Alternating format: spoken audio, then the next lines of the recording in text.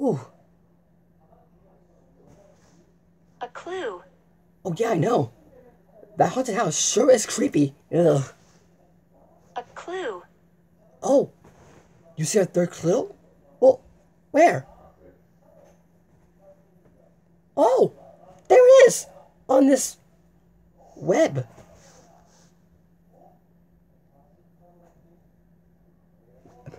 So a web is a third clue to figure out what Magenta's afraid of. You know what we need? Our handy dandy Notebook. notebook, right? Okay, a web.